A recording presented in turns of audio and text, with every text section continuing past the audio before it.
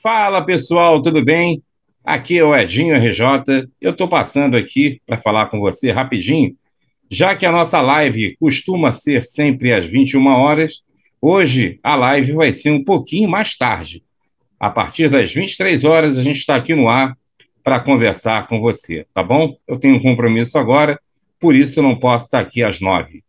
Mas vou estar a partir das 23 horas aqui com você e conto com você aqui. Deixa seu like, se inscreva e seja membro do canal. Um forte abraço e até daqui a pouquinho. Valeu!